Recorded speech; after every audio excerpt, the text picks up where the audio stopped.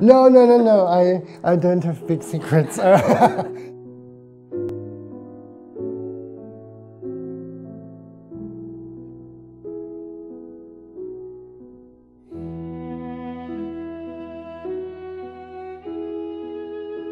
I think we string players always want to play every phrase and every melody like a singer.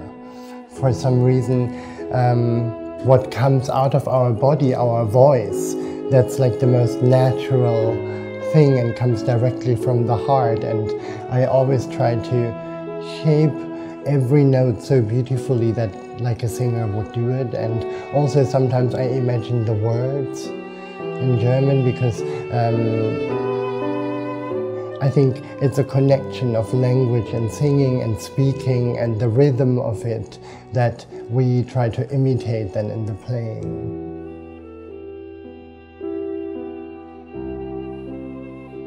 I had so many concerts when I was younger or like competitions where I didn't take that risk, but I tried to be very safe.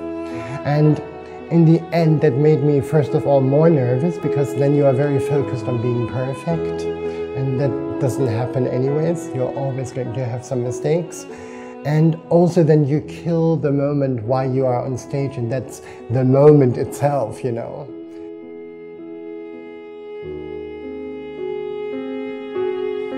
You know, it's a little bit like when you walk and you don't think about it. You just put your feet and it's no problem. And then when I tell you, okay, now you put this foot here, but not like one centimeter more and then first with the toe and then you, you know, when you start thinking about it like that, then suddenly it becomes very complicated. And so I try, and I'm still getting better with this, but this is something I started doing when I had, when I um, participated in competitions is that I tried to practice so well that I really know it, but then on stage you have to trust it and not suddenly go like, okay, okay, now I'm walking, but you have to really say, okay, I'm walking and I can do this.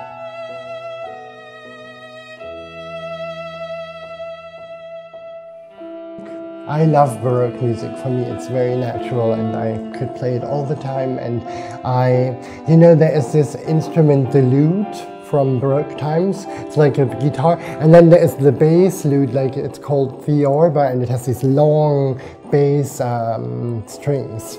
So I recorded, and there's a fantastic player in Germany I recorded a CD with, and um, that's going to come out soon.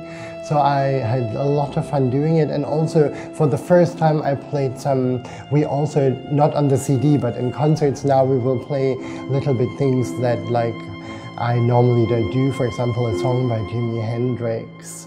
And I will play a little bit of jazz as well because my father is a jazz musician. So I, I uh, do something that I normally don't do.